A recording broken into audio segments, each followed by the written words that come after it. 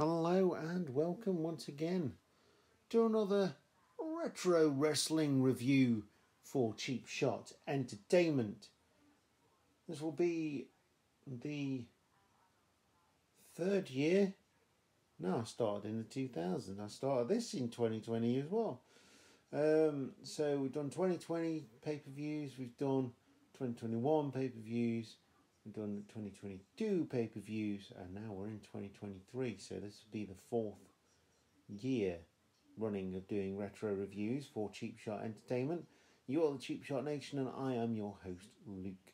And we go squarely towards the January staple of the Royal Rumble, one of my favourite events of the year, and something that I do endeavour to get my friends together and, and watch between us because there's nothing quite like watching a Royal Rumble with people around you um, because of the reaction and, and the, just the pure joy when someone comes back that you're not expecting or whatever. Um, and obviously, the main thing is the Royal Rumble, and you usually get a, a title match in there somewhere. So, uh, the main thing, I mean, all the pay per views now are joint, even though the the brands are split. But back in two thousand two, two thousand three, they were toying with having separate pay per views, doing one each, and then bringing all the people together for the big pay per views, and this would obviously be a big pay per view, um, with SmackDown having Armageddon the month before in December 2002. Again, decent pay per view, a couple of really good matches there. Um, but we move on to the Royal Rumble, 19th of January 2003, in the Boston TD Gardens in Boston, Massachusetts. Massachusetts uh, or otherwise known as the Fleet Centre as it is now. The theme song is Falling Apart by Trust Company, and uh, the main event is obviously the 30 man Royal Rumble match. With the arena appearing in games such as SmackDown Here Comes the Pain, WWE Raw 2, and WrestleMania 19 and it is available on the WWE Network hashtag 999 as well as being a sellout audience of 15,338 WWE fans. Uh, so we have a Sunday Night Heat, which is like the pre-show, the the build-up show. What do they call it now? The kick-off show. Uh, it was Spike Dudley versus Steven Richards, of which Spike Dudley came out on top. So we've got a lot to get through on this review, so we're going to jump into the main part of the video because uh, there's a couple of matches before the Royal Rumble, and yeah, it's going to be a good one. So I hope you enjoy the review podcast, the video, whatever you're watching on, uh, do join us for future videos because I really enjoy doing these uh, retro reviews and I hope you enjoy listening to them. I will see you in the main part of the video. This is awesome! This is awesome! So we start off with a qualifying match for the Royal Rumble. This feud has been going for a couple of months now, ever since Survivor Series 2002, where Big Show took the championship from Brock Lesnar with the help of Paul Heyman, who is now managing the Big Show. Uh, Big Show comes marching down to the ring first with Paul Heyman. Brock Lesnar is on his way next. He looks like an absolute beast at this point. Obviously, still a young young man uh, with his whole career in front of him. Sad that it did end for a while uh, in WWE the following year, but you know he would come back and, and obviously dominate again, which is really cool. Um, and yeah, the winner in this match gets a spot in the coveted Royal Rumble, of which this match is very quick, but it obviously needs to be because one of these guys is going to be in the Royal Rumble and is going to be wrestling essentially twice uh, and potentially going from number one to number 30, depending on what number is drawn. So yeah, they've got to they've got to qualify. Uh, Paul Heyman does his very best to help the Big Show here, but you know that the Big Show is purely a transitional champion at this point in time. He's wearing he's wearing his singlet, but he's also wearing black jeans. There's not much to him at this point. It doesn't it doesn't look the part, in my opinion, uh, as a wrestler. Obviously, they're changing it up a little bit for him, uh, and he's you know he, he's he's got he's gotten really big at this point in time. So uh, he you know he's struggling uh, again at this point in time as well with his weight and stuff. So uh, Vince being big on the big show, literally did you know offer to help Big Show to uh, you know get back to fitness. I mean, he's in his prime. Big Show was absolutely phenomenal. He was a phenomenal athlete, and it doesn't show here. Really doesn't. He puts on a good match as you'd expect from a veteran such as Big Show, and ultimately comes up short against Brock Lesnar, the younger, faster, fitter, stronger Brock Lesnar, uh, who would jump out of a choke slam, F5 the big show, and get the pin. And it's as simple as that. He gets the pin. Brock Lesnar goes to the main event, which is the Royal Rumble. And obviously, Paul Heyman's very annoyed by this, and so is the Big Show. But I'm going to give this match. It's difficult to. I did enjoy it, so I'm going to give it a three cheap shots out of five. Even though it was a very short match, like I say, it, it should be because they're going into the main event as well. And uh, yeah, it, it did its job. It did its job for me. It continued the story, a story that did need finishing here because it wasn't really going anywhere.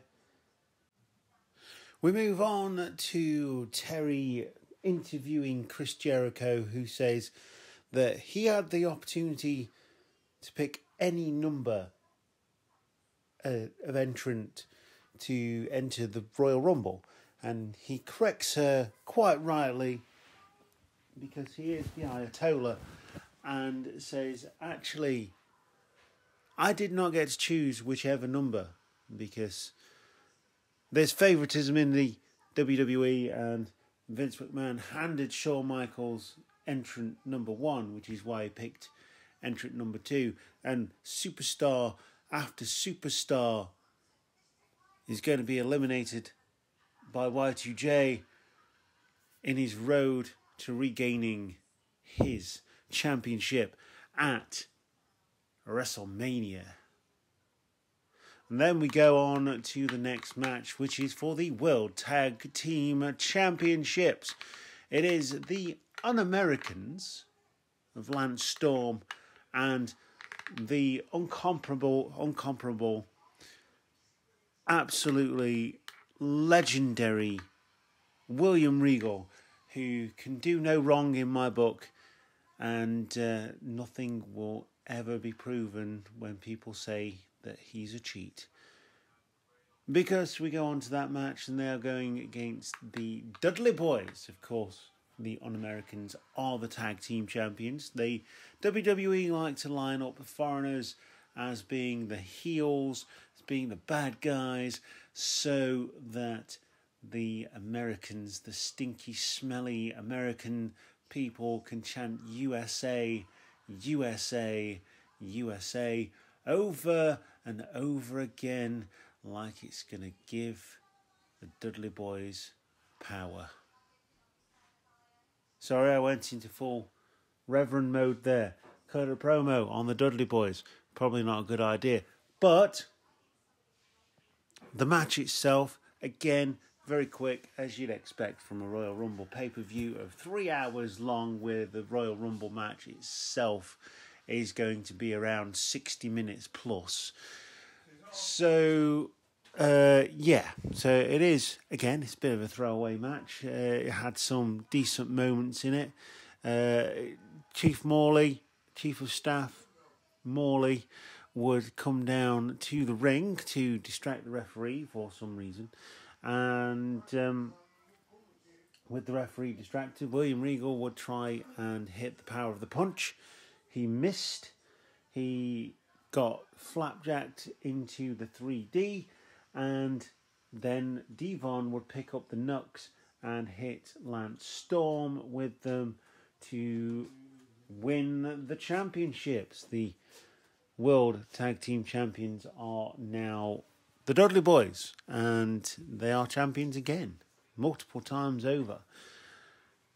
Like I say, bit of a throwaway match. Uh, not much time to capture the imagination here, but it was a serviceable match with how much time they had to work with. Now, a lot of people who review wrestling have not come from the background of actually being in wrestling. They've only looked at it upon the as a, through the eyes of a fan. Now, I know from experience that quite often a three-hour show, depending on how many matches, you've probably got ten to fifteen minutes to put on a match. And especially if there's a big match at the end of the night, it's probably going to be around the 10 minute mark. And that's difficult. That is difficult to do. And some companies, they work entrance to exit. So, whilst you've got 10 minutes, whilst 15 minutes, 20 minutes sounds like a very long time, if you have five minutes off for the entrances and then you have five minutes at the end for celebrations and, and leaving, you've got a 10 minute match. And you've got to put a lot of stuff in that match. And these, these two teams, they're veterans, they know what they're doing, it got the job done. And um, and and you've got new world tag team champions. I think it was the right decision. They did need tag team championship changes here because the un-Americans were becoming, becoming stale. They're, they're standard, like I say, standard foreign heels here uh, with the un-Americans. And the Dudley Boyz had just reformed uh, at Survivor Series. So, yeah, it made absolute sense that they would pick up the win. Again, I'm going to go down the middle here. I'm going to give this two and a half cheap shots out of five. Not quite as good as the opening match because of Brock Lesnar being just an absolute beast and uh, and Big Show being awesome as well. I love these two teams, but again, two and a half cheap shots out of five. So before we go into the next match, we get a uh, promo package for the Colossus of Boggo Road, Nathan Jones. Good day, mate. Um, sorry, that was really bad. I'm sorry. Um, yeah, the Colossus of Boggo Road didn't quite go so well for WWE. The promo was really cool, you know. It was Nathan Jones in a prison and, and being locked up, and then all these promos. Uh, they had to move him from Tasmania to Brisbane because of security reasons and the lock, and, and there's no, well, there's a turney lock and, and no padlock on it, so he wouldn't just been able to walk out anyway. But uh, yeah, there's a review on security in Australia for prisons, but apparently it's okay for WWE to bring him out of prison and put him in a wrestling situation. Maybe it would have been safer in staying in prison because he was a bit of a flop. Um, and say came out, he came in with this sort of grr, sort of thing, uh, by WrestleMania, he didn't even get a match. Supposed to be tagging with The Undertaker, which we'll obviously get to when we get to it. Supposed to be tagging with The Undertaker, but he was so bad that The Undertaker actually said, no. no. On goal. two on one with The Big Show and A Train. Yeah. we got that to look forward to. Woohoo! Um, so the next match is a Divas match, and it is Dawn Marie versus Torrie Wilson, and it's billed as the stepmother versus stepdaughter, the first ever and the last ever, thank goodness, match of this kind. Because Dawn Marie has caused Torrie Wilson great heartache by killing her father, death by snoo. And obviously that leads to a match. They they had a fight in a funeral parlor over Al Wilson's prone body, and uh, Dawn Marie smashed a lamp over Torrie Wilson's head, and we lead into this match.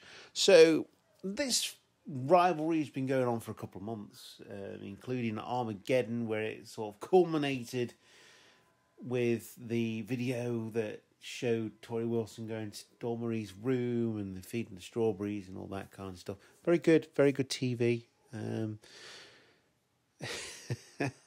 uh, very 2002, and it doesn't stop there in 2002 because it transfers over to 2003 with the death of Al Wilson.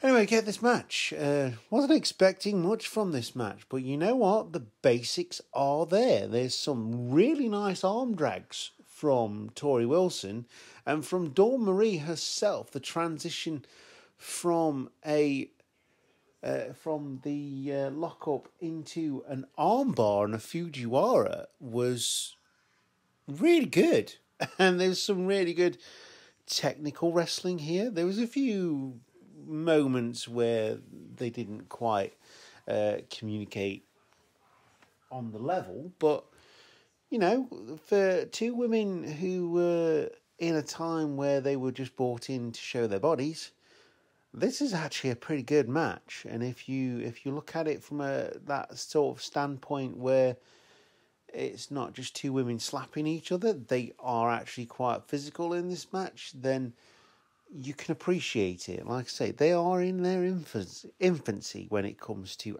actual in ring competing. So you have to appreciate that for what it is. Simply because, you know, normally you'd be in training for a couple of years and then get your first match on the main roster. These ladies are obviously in as a result of the invasion, the, the merger, and all that kind of stuff, which is great. But then they've not had time to train properly, which is an absolute testament to Fit Finlay, um, who made sure these ladies were absolutely ready to put on a five minute match. And that's exactly what they did. And I feel the crowd could have given them a bit more love than what they did. Uh, I did hear a slight chant of "We Want Puppies," uh, 2003. Everybody, but let's appreciate this match because if you go back, it is a decent technical match. It's not a masterpiece by any means, but it's very enjoyable. And I'm going to give it two cheap shots out of five, and I stand by that because it is an enjoyable wrestling match, not just a bikini clad uh, fight with two ladies who don't know what they're doing because they thought about this, they planned this, it looked like they did, and they got to the end. And it ended with a very simple move, which was a swinging neckbreaker. And to me, that was quite old school because if you do anything like that, like a DDT or a neckbreaker or anything, that involves dropping someone on the head, then that to me should be the end of the match. Not jumping up and doing six super kicks and a, and a flip. You know? So, yeah, kudos for that. Two cheap shots out of five. Well done, Torrie Wilson. Well done, Dawn Marie. God bless you, Al Wilson, who lived the life and died by Snoo Snoo. It is the thing that we all want. On to the next match. So we move on to the next match, which is for the World Heavyweight Championship. It is the champion Triple H winning the title back from Shawn Michaels at Armageddon in the Three Stages of Hell match. Hellacious match. He is now going to the Royal Rumble as the champion to go against the returning to WWE Scott Steiner, the most sought after free agent um, of 2002. And uh, yeah, it's um, obviously Triple H coming down to the ring with Ric Flair as well.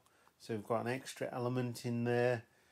And it's it's a longer match. Obviously, you'd expect that for what it is because it's for the World Heavyweight Championship. But there is a decided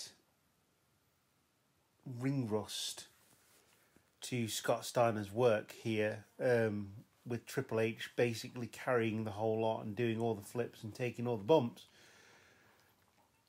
With it being a championship match, Triple H trying everything he can to win, including cheating, uh, pulling out the sledgehammer. In the end, Ric Flair doing everything he can to get the stoppage as well. And um, then you've got Scott Steiner just chucking Triple H everywhere, quite rough, quite stiff, um, as he always was in WCW. Go and watch some of the last pay per views in WCW history in 2001, the beginning of 2001, and you'll see what I mean. Um, he hasn't really done anything since because he's just been sitting out his uh, on his guaranteed money, and um, yeah, uh, it's a long time coming. You, we're talking like two years for Scott Steiner to get to WWE again. Obviously, came into huge fanfare at Survivor Series, but here he really does show that apart from the look, he is quite stiff, and you can see Triple H carrying the whole match, and that's a damn shame because the people in the audience could see it as well, and they they audibly start booing Scott Steiner. Obviously, he's come in as a face to go against Triple H, who's the ultimate heel at this point in time, wearing the suits, the shirts, the ties, that kind of thing. And uh, yeah, it's not an awful match, um, but it's very down the middle. You'd expect a lot better for a championship match of this caliber, and it's quite disappointing with that. They do fight on the outside. They go down the ramp.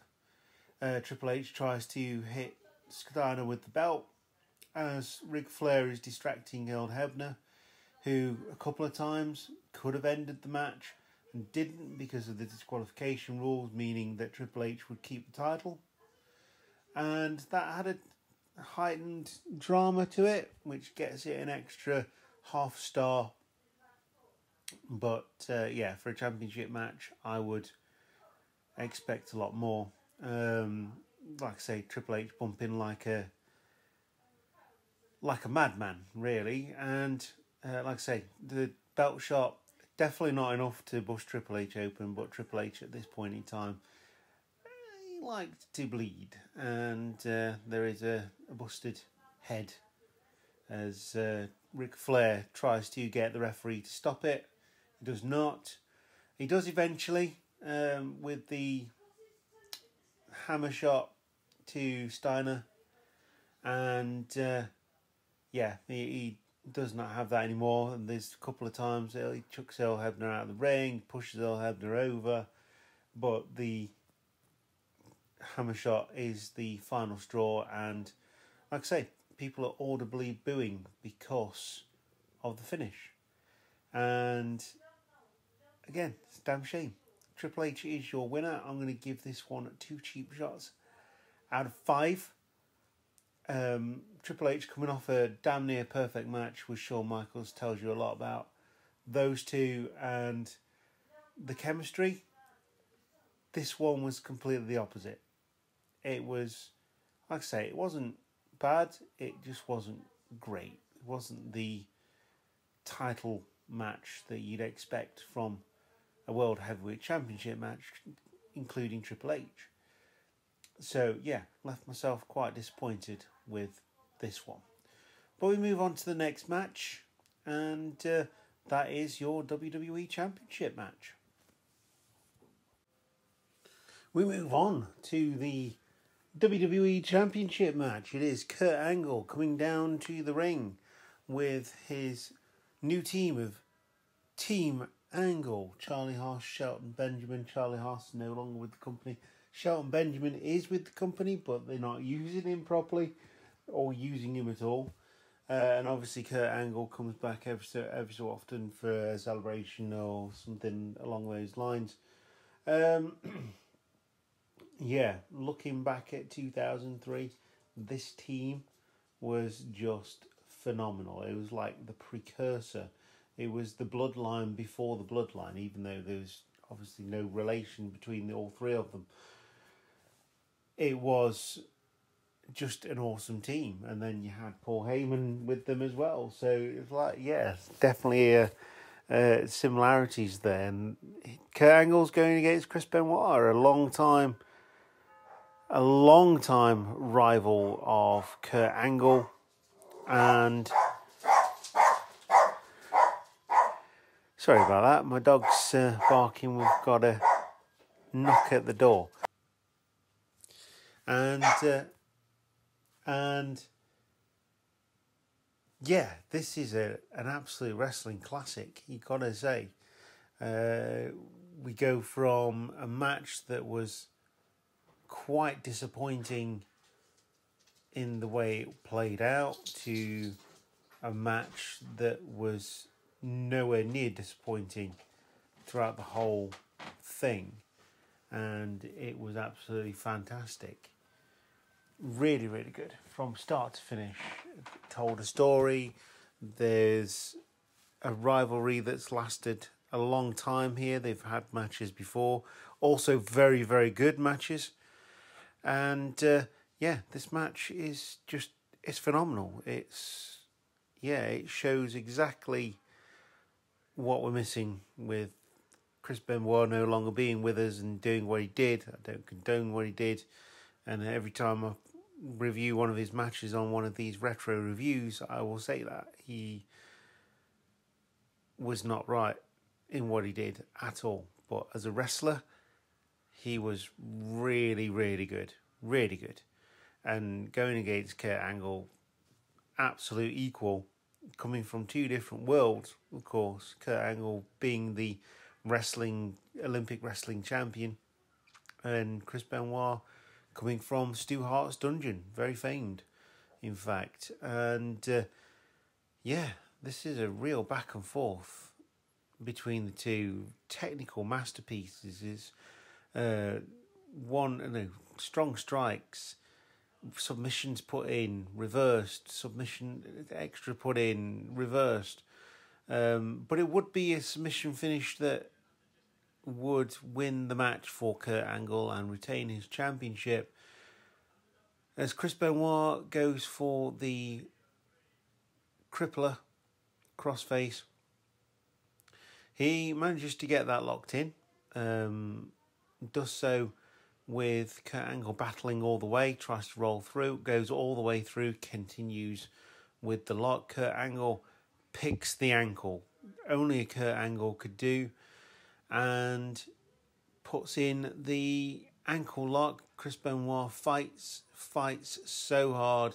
The crowd is absolutely electric for this match, and that heightened my enjoyment watching it on the network because Kurt Angle does eventually get the leg grapevine and makes Chris Benoit tap.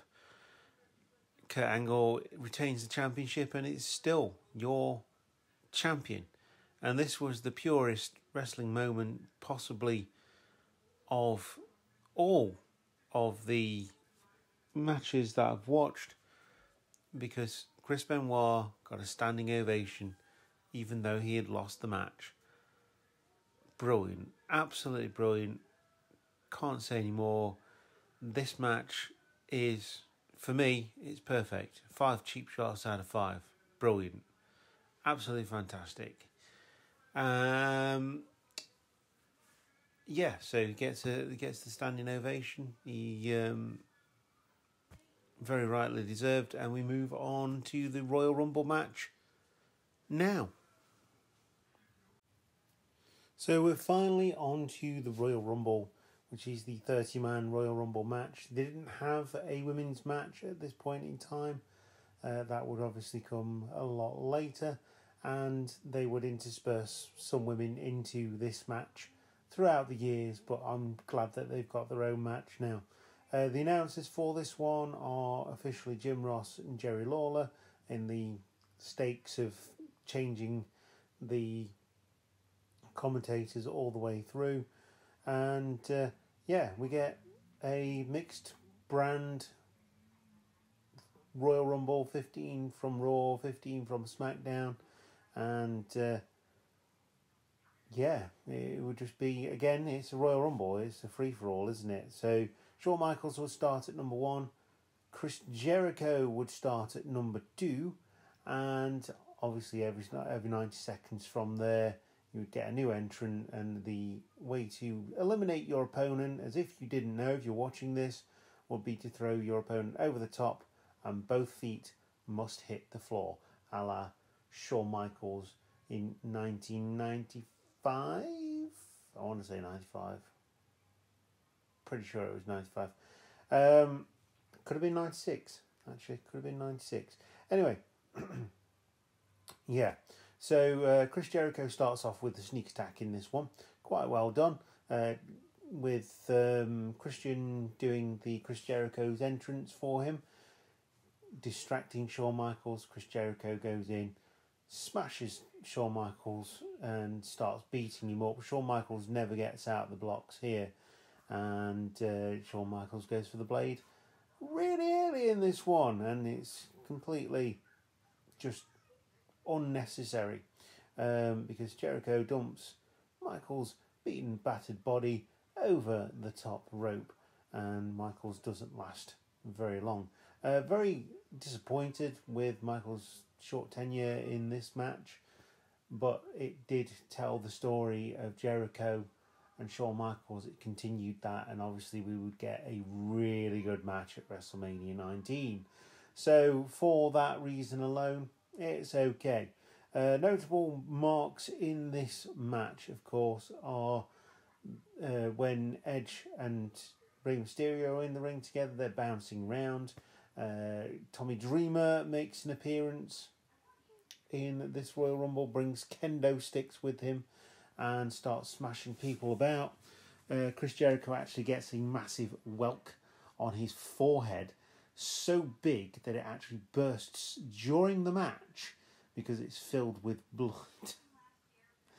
um, yeah, I don't think they planned that, but that's that's my lasting memory of this match. Um, and then you've obviously got Chris Nowinski coming down to the ring. His first uh, appearance in a Royal Rumble since the uh, Tough Enough series uh, Maven makes his second appearance in this Royal Rumble, almost eliminates The Undertaker again. Undertaker turns around and just smashes Maven in the face with his big suit boat, suit bone hands. Uh, again, very. That was quite entertaining because of the year before. Maven eliminated The Undertaker and The Undertaker smashed Maven through a popcorn machine. Um, so yeah, Christian teams up with Jericho as well in this one. So you got Edge Mysterio, Christian, Chris Jericho, uh, the couple of things that you know they go towards the tag team style. Uh, Rey does incredibly well. Chris Jericho does a lot better. Um, You've got Bill DeMott in there, also known as Hugh Morris in WCW, um, who would also be a head trainer for WWE and uh, get fired because of his actions. And uh, yeah, you then get B squared, Bull Buchanan. Uh, this is not his gimmick very long, very long because of him being associated with John Cena, and um, yeah, he just did not get over in this gimmick at all. Uh, then you've got Kane, you've got Rob Van Dam, uh, they are fighting. Uh, they, they join up, they they fight, uh, and they fight, they fight, they fight.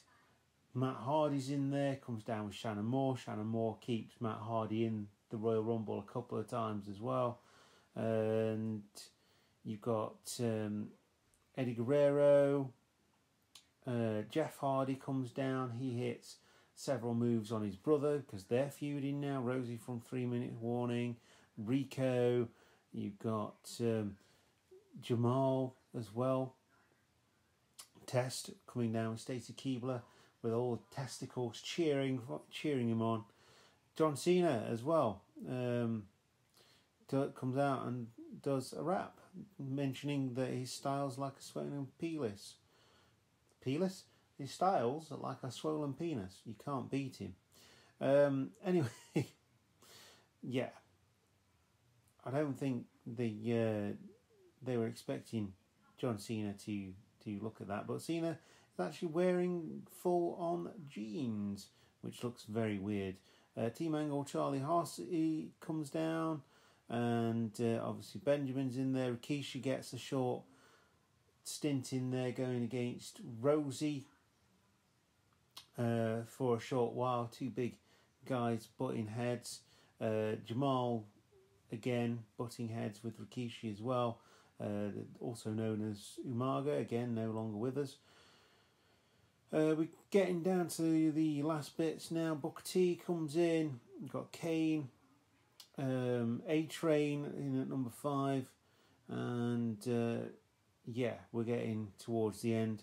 Maven again, like I mentioned, he almost eliminates the Undertaker again, trying to um, recreate the year before.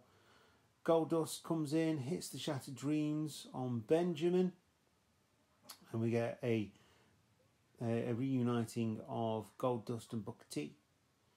Uh, also got Batista making his his Royal Rumble debut in 2003 as well.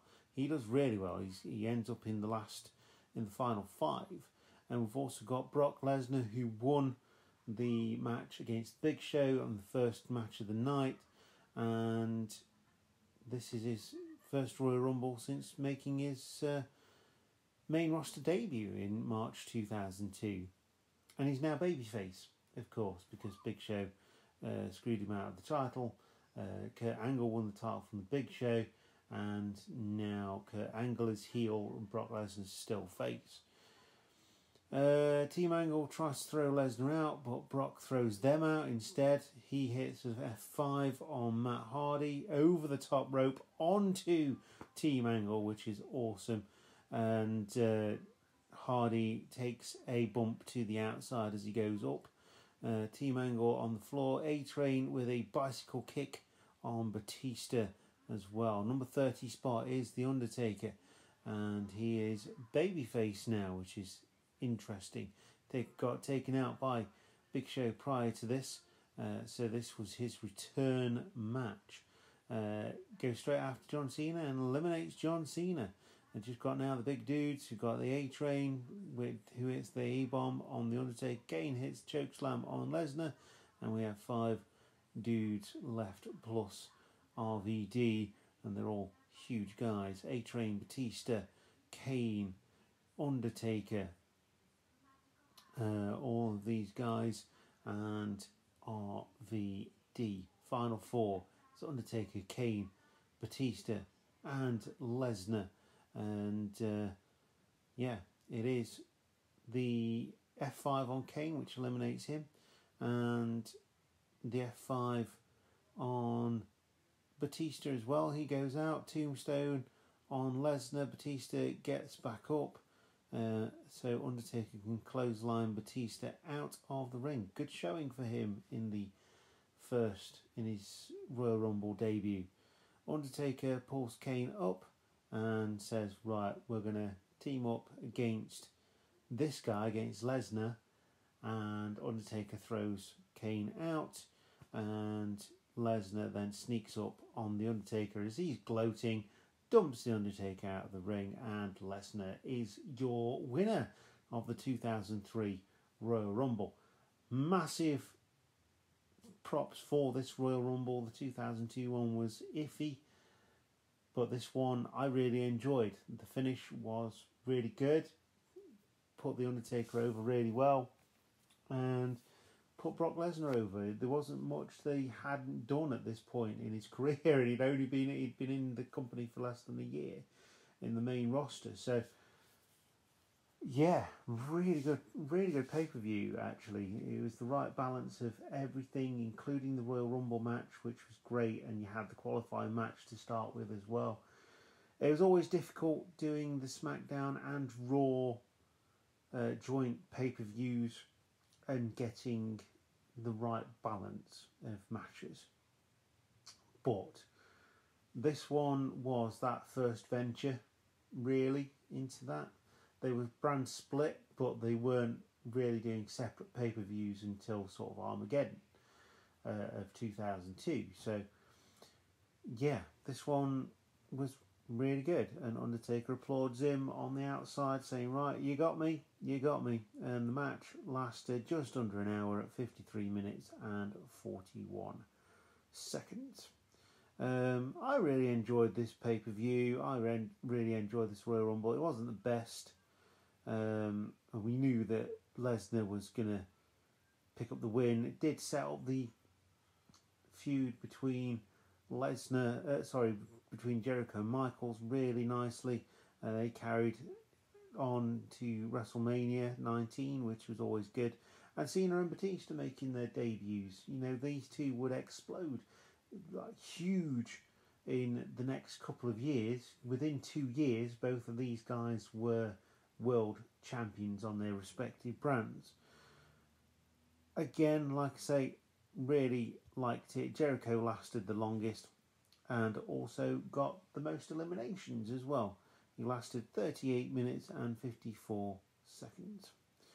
Um, so, yeah, there you go. Uh, so that's that's that. Yeah, I really enjoyed this Royal Rumble. I'm going to give it uh, three cheap shots out of five. First time I've actually given cheap shots to a Royal Rumble match because they're really difficult to actually give a rating really to.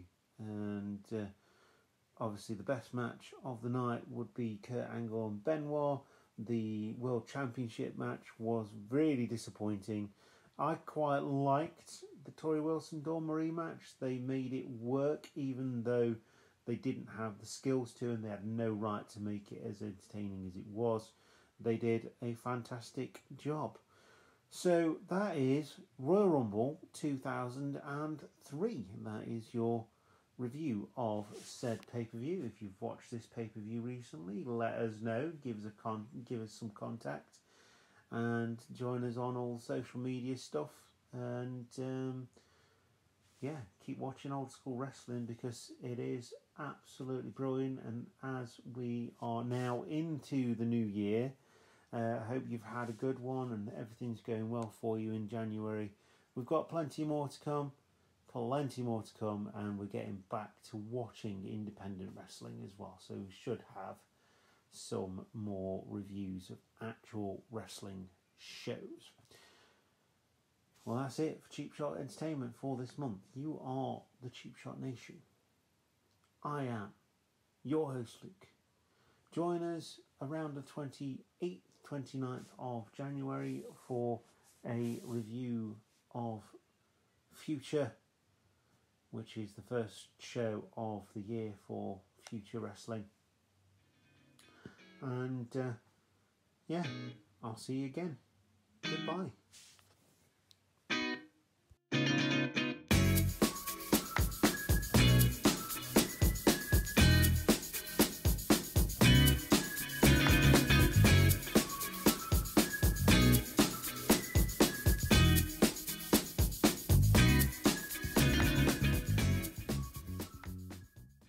大